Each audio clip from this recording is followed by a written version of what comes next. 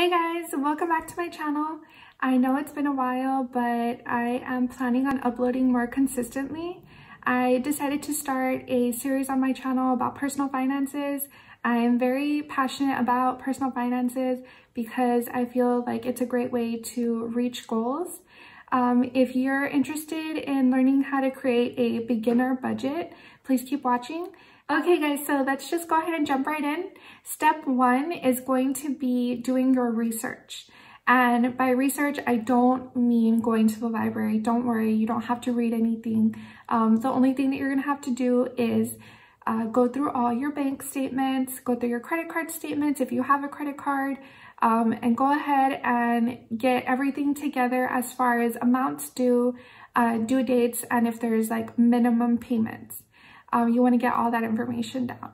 Your budget is going to be broken into three sections.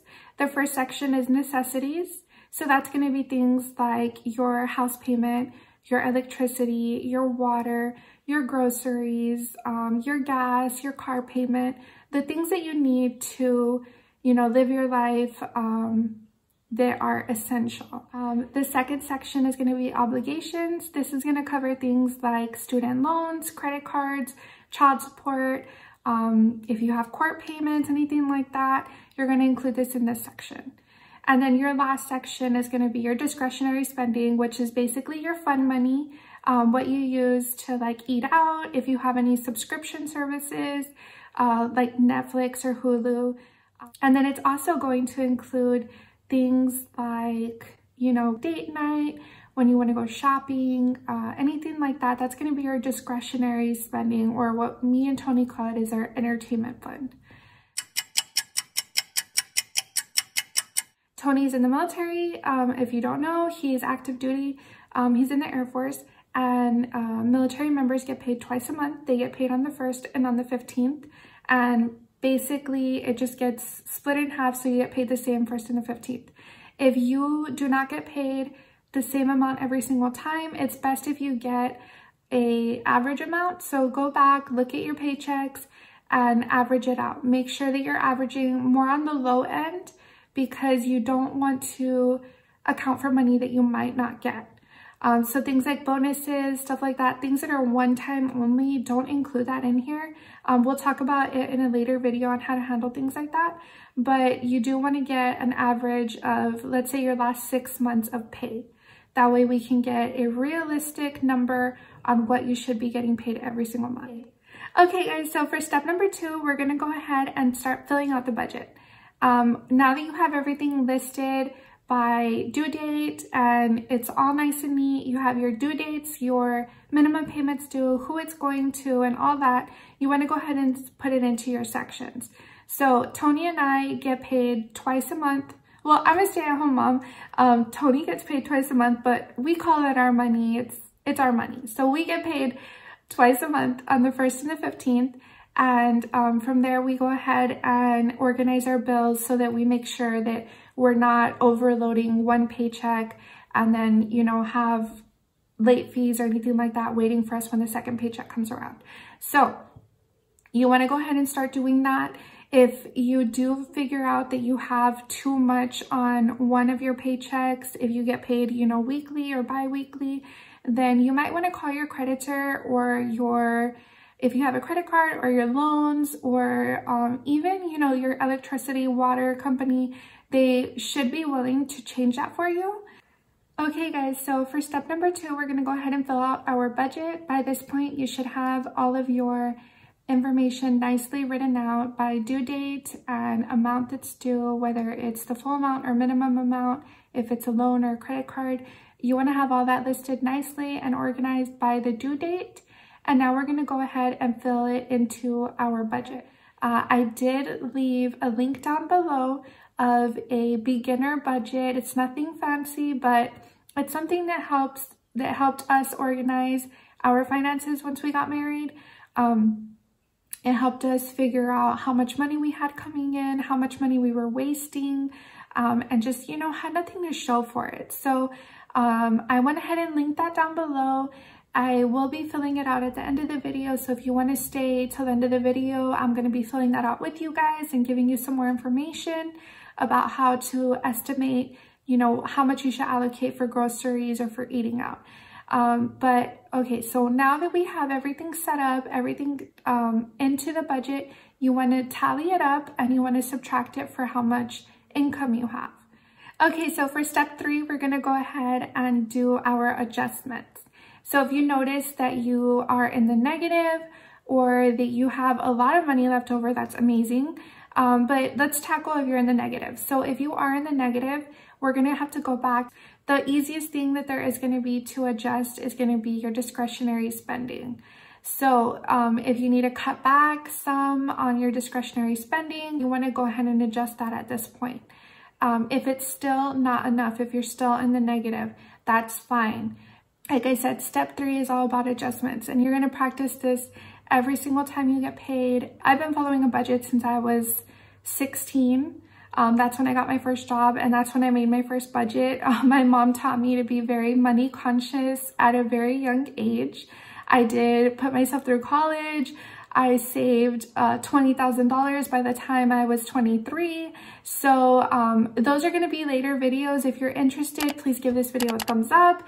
If you want to see that video on how to save your first $20,000, give this video a thumbs up, comment down below. Um, but for now, we're going to move on to step four, which is the most important step, and that's executing your budget, sticking to your budget, sticking to your plan. So many people view budgets as something that's negative, but it's not. I view them as something that's positive, as a roadmap to getting to your goals. So if you can stick to your budget, that is amazing. I am so proud of you. Um, please comment back. Please let me know how you're doing. If you need any more advice or tips on how to stick to your budget, I am going to be making a video on that for next week. But um, if you have any individual questions, comment down below. I will make sure to get back to every single one of you. I hope that you enjoyed this video.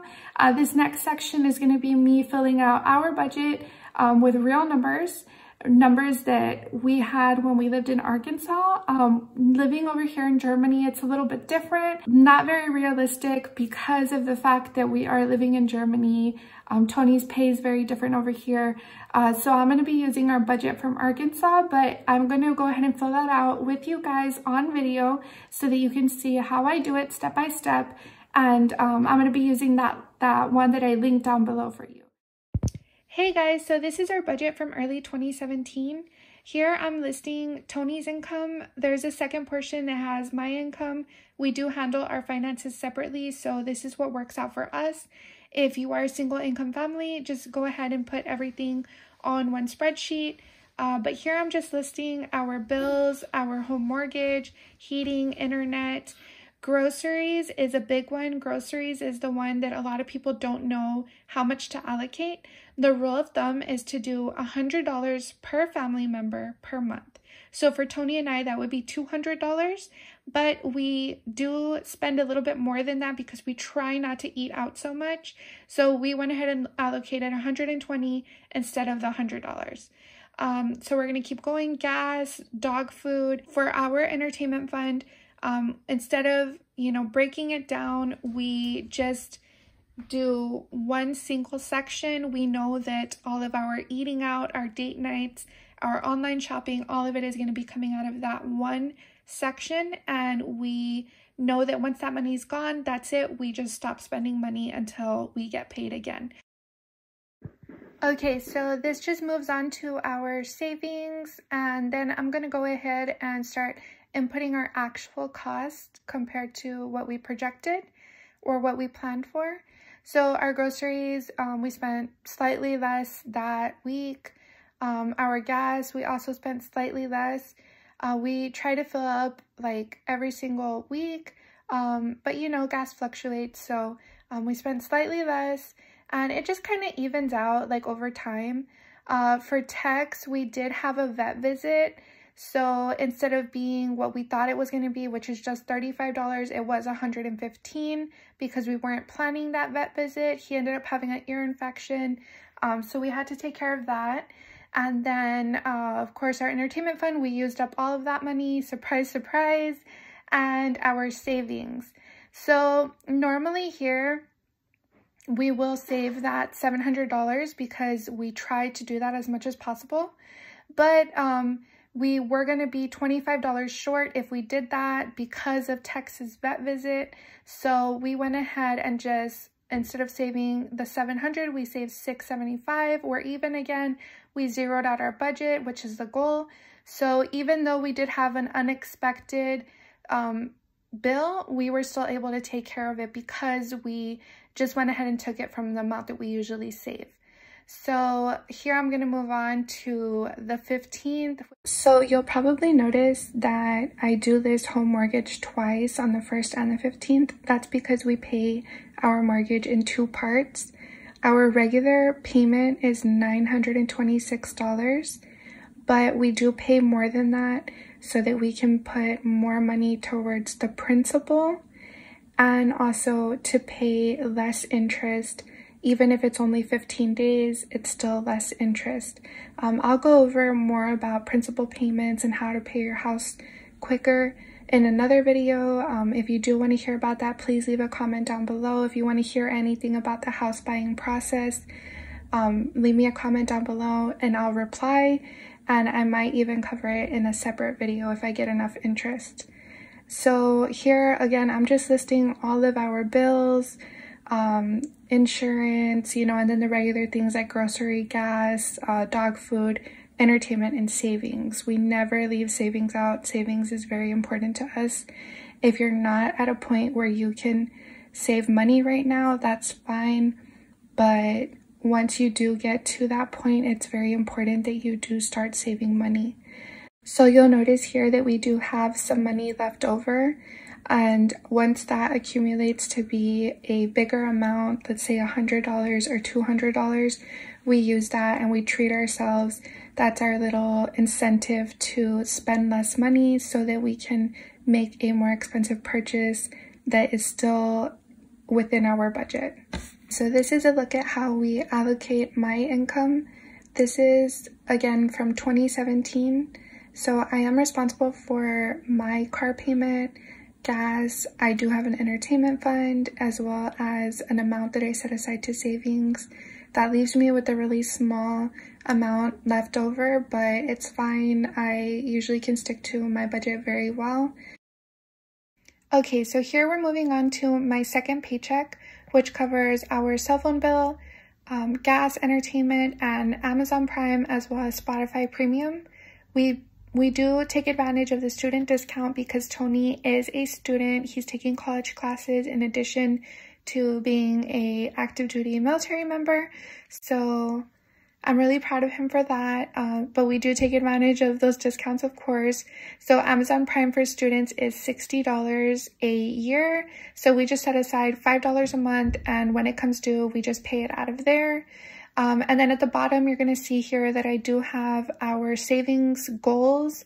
Uh, at this time, I we still didn't even know that I was going to be pregnant. We were planning it. We prayed for Samuel. So thank you, God, for answering our prayers. Um, but we were saving for any expenses that come along with having a baby which um, was uh, my maternity leave, and then um, any of his needs, for example, buying a car seat, buying a stroller, buying a crib, buying all those things, it kind of adds up really quickly, especially when you're starting from scratch. So um, we did set aside money for that. And then I'm always saving for vacation. We love to vacation and just, you know, enjoy our lives. Um, even though we do save a lot of money, we do take time to go on vacations, and that's what makes it worth it for us.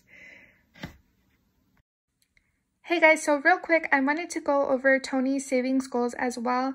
Um, he is into uh, restoring our 78 Camaro as well as woodworking. Those are his two hobbies. So we do put money aside for that. And we also are saving towards our for forever home. The home that we are living in at this time in 2017 is not our forever home. It's not in Texas, and we do want to go back to Texas. So we do have that in mind as well.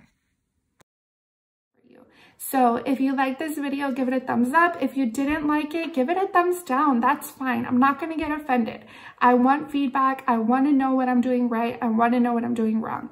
So, um, I hope that you did enjoy it. Please click the subscribe button. I'm really excited about these new videos that I'm making. So I'll see you guys next time. Bye.